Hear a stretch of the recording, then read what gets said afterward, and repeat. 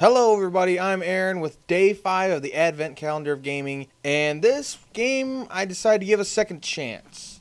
It's Delver. Now if you've read my review of when it was back in beta, Delver disappointed me entirely. It was a complete letdown. Every time I'd play the game, I would beat it in a single run through.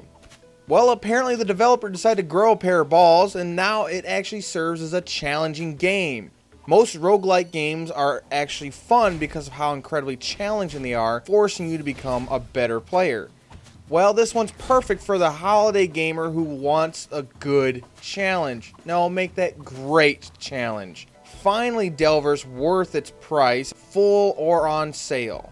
Delver's actually very unique. It is similar to such games as King's Field, in which it's a first-person hack and slash RPG.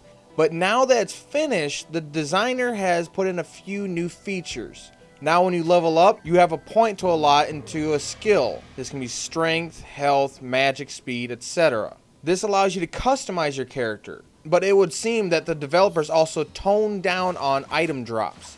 The developers also added in a starting area which actually has merchants. The game is actually good now. I fully withdraw my first impression of your game and give it a better rating. This is a must-have for any gamer who not only likes roguelike games, but good roguelike games. So Delver, you're day 5 on the advent calendar of games.